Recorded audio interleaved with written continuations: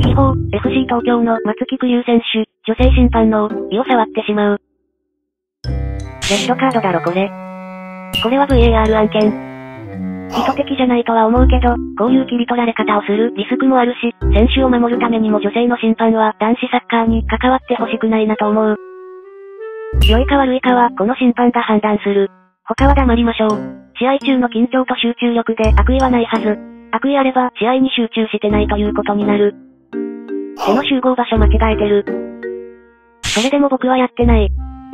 おもろいけど、しゃあないよなこれくらい。これ本当か。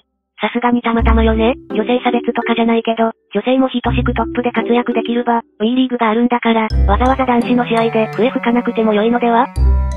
海外で見たことあるセクハラや、海外でもネタにされるかもね。こういうのは罰則とかあるのかな